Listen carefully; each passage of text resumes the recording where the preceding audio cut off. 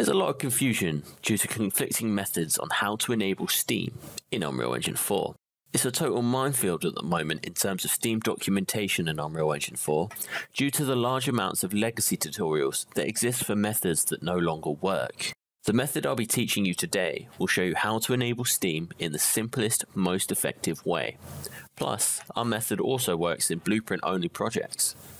First off, any changes you might have done to any files in relation to Steam, please undo them.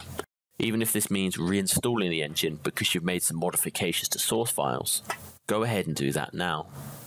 Step 1. Make sure Unreal Engine is closed and go to your project's root folder. Step 2. Inside the config folder, open up defaultengine.ini with any notepad based text editor. Step 3. Add the code available in the description and be sure to change the app ID if you do not wish to use Spacewar's app ID. Step 4. Save and open your Unreal Engine project. Step 5.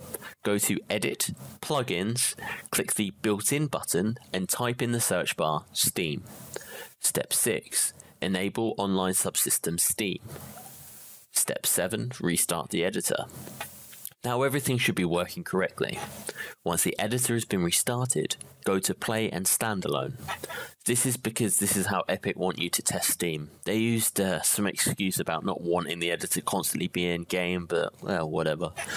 So, once your standalone window is opened, press Shift and Tab or your default Steam overlay, and Steam should appear.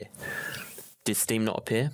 There's three reasons this could have happened. One, Steam isn't on or Steam didn't get the I want to connect message. Please restart Steam and then Unreal Engine and try again.